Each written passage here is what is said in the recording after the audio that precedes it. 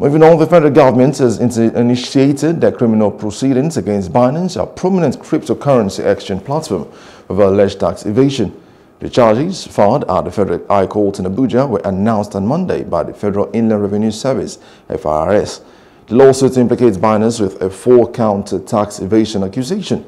FIRS, in a statement issued and made available by Special Advisor Media to the Executive Chairman of this service, Dare Adekanmbi, uh, said the move was uh, aimed at upholding fiscal responsibility and safeguarding the economic integrity of Nigeria.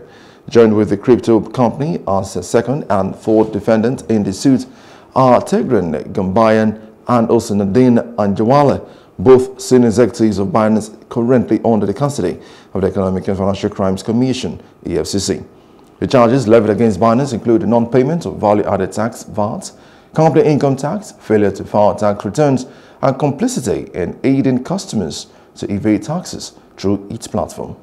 For us in revenue, it doesn't matter because we are dealing with company, not individual.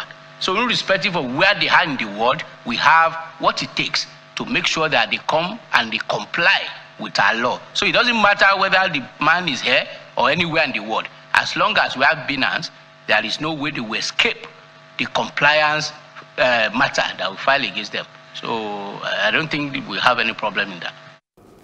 Hello. Hope you enjoyed the news. Please do subscribe to our YouTube channel and don't forget to hit the notification button so you get notified about fresh news updates.